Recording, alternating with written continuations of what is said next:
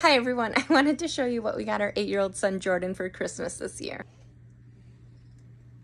We got him this NFL Blitz arcade game at Costco. We got him some Retro 4s, Nike slides, pendant necklace, football gloves, iPad 10, keyboard case, iPhone, a book, and Switch games.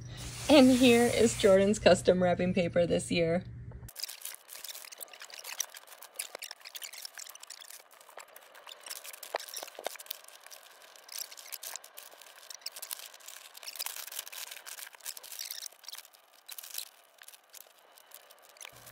And don't forget to check out the tagged products in this video.